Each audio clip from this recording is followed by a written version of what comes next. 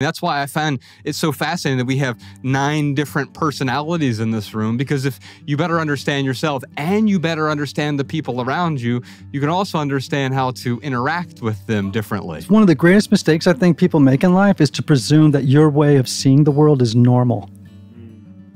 Because that's not the truth, right? And if the Enneagram is true, there are nine normals.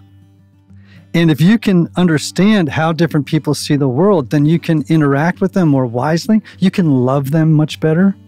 You can empathize uh, more deeply with their struggles and challenges in life.